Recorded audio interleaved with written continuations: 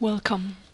In this tutorial video you will learn how to open a scan project, connect VirtuSurv with IntelliCAD or GStarCAD in this case, use scan data for drawing layout plans and elevations, and how you can edit macros to adopt them for your own needs.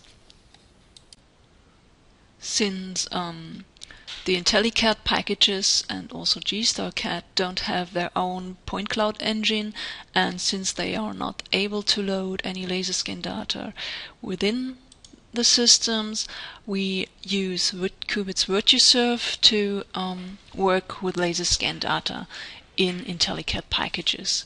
So I will open my scan project from the recent project list and select two scans with Shift and left mouse button, right click, go to true color, open them both, or I can just double click on a scan in the scan project explorer to open it and I can switch between scans um, using the scan map.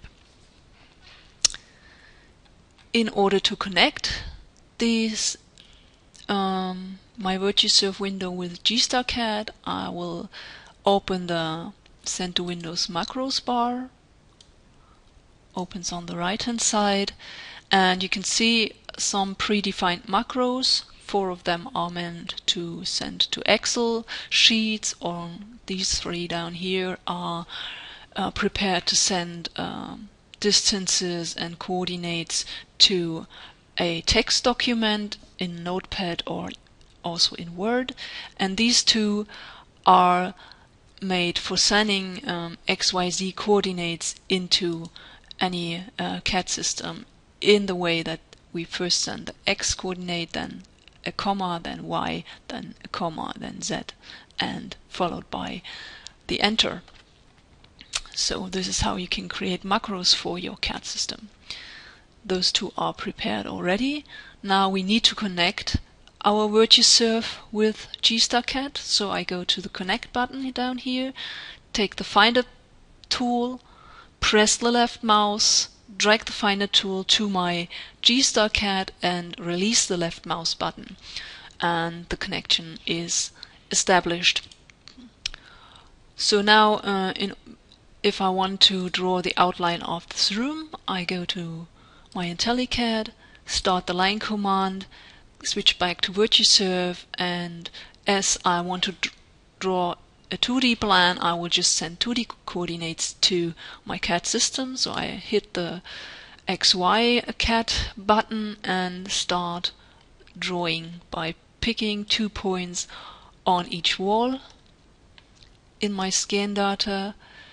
And you can see on the right hand side in my CAD system the lines are drawn immediately.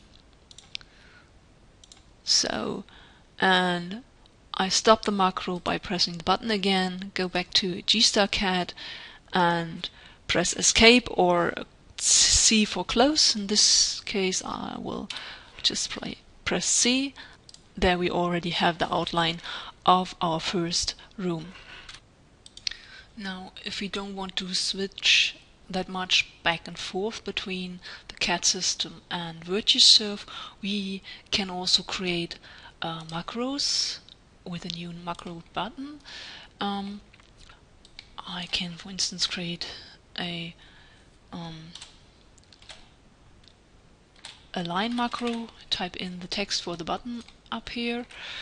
I could also define a raster image to be the icon for this command and copy the line as macro name as well. I could also add a tooltip. I can adjust the size of the button and you can see how the size changes down here and um, what all I type in here um, is being transferred in a copy and paste manner to my CAD system. So here um, I just enter the command line and it will be sent into the command line of the CAD system. I say OK and save it. To run the command I can just click on the macros button and pick somewhere in the scan and you see the command has been sent to my CAD system. Um, what is miss still missing is um, the enter so I need to go in here once more and enter a space say OK then I go in here cancel the command go back in here and check once more so pick somewhere here and the line command has been started. Now I can send 2D coordinates once more. So let me draw the outline of the neighboring room. I will start in this corner, pick one point, pick the other point, go by, continue over here,